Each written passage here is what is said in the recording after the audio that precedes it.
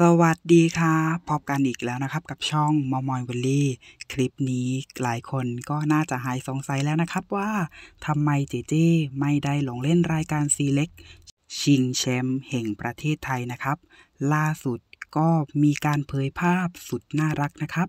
สรุปว่า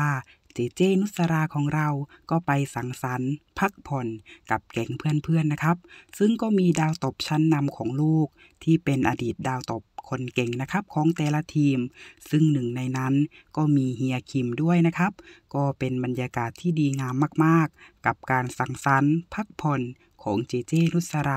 เห็นแล้วก็น่าชื่นใจนะครับ เจเจนุสรา เธอเป็นคนที่มีมิตรไมตรีอยู่แล้ว เพื่อนๆก็ชอบกันอยู่แล้วนะคะเหมือนได้เห็นดาวดังนะครับ อดีตนักตบของแต่ละทีม แบบนี้ก็น่าชื่นใจครับ น่ารักมากๆเลยครับ